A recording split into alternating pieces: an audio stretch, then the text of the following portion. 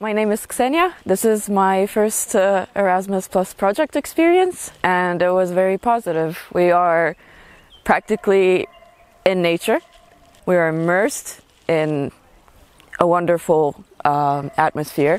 We did a lot of activities that had to do with uh, um, connecting with nature, connecting with yourself, grounding yourself, um, and um, I don't know, just simply feeling good with yourself and um, I experienced very nice things. I made friends.